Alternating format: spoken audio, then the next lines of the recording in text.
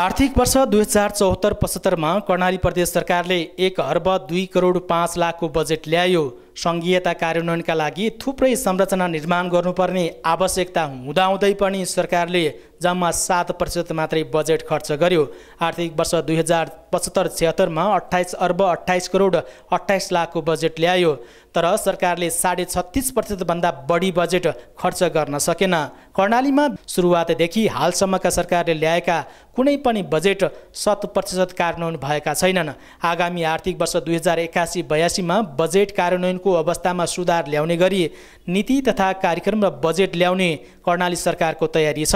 त्यसका लागि सरकारले योजना छनौटमै सबै क्षेत्रको साझा प्रतिबद्धता खोजेको छ। राजनीतिक नेतृत्व नीति निर्माणको तहमा सही नीति निर्माण गर्नु पर्यो अनि उता चाहिँ कर्मचारी प्रशासनले सही ढङ्गले चाहिँ यसलाई लागु बनाउने प्रक्रिया अहिले प्रश्न उठिरहेको छ कि कार्यविधि बन्न वर्षौँ लाग्ने महिनौँ लाग्ने होइन? एन बन्न महिनौँ लाग्ने अनि चाहिँ त्यो त्यो एन बन्दा बन्दै कार्यविधि बन्दा बन्दै बजेटको अवधि नै सकिहाल्ने जो परिवेश छ यसलाई चाहिँ हामीले अन्त्य गर्नुपर्छ।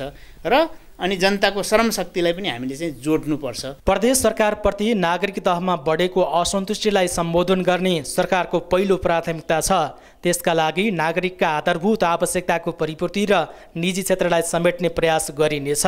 आगामी आर्थिक वर्षदेखि बजेट कार्यान्वयनमा सहजता ल्याउन मापदण्ड नै बनाएर झ्यालबाट आएका योजना रोक्ने कृषि वस्तुको बजारीकरणमा विशेष जोड दिने सरकारको दाबी छ।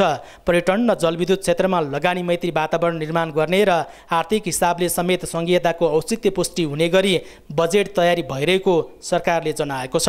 कृषि क्षेत्र पर्यटन क्षेत्र र जल उपयोगको प्रसङ्ग खास गरी जलविद्युत उत्पादनको क्षेत्र चाहिँ हाम्रा लगानीका मुख्य क्षेत्र हुन्छन् र यी सबै क्षेत्रहरूले चाहिँ हाम्रो रोजगारी सृष्टि गर्नुपर्छ।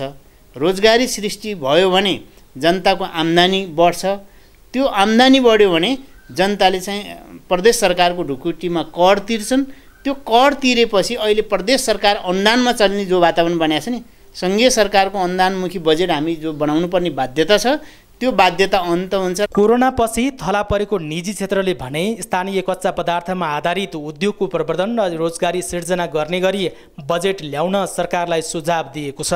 स्थानीय कच्चा पदार्थमा आधारित साना उद्योगहरूलाई पनि समेट्ने गरेर उत्पादनमा जोड दिने गरेर समन्वय गर्न र बजेट केन्द्रित गर्नलाई हामीले चाहिँ सुझाव चाहिँ दिएका छौँ। आम नागरिक र प्रदेशको आवश्यकताको पहिचान गर्न नसक्दा सुरुवातदेखि नै बजेट कार्यान्वयनमा सरकार असफल हुँदै आएको छ। कान्तिपुर समाचारका लागि सहकर्मी कमल पन्तको साथमा देवराना सुर्खेत।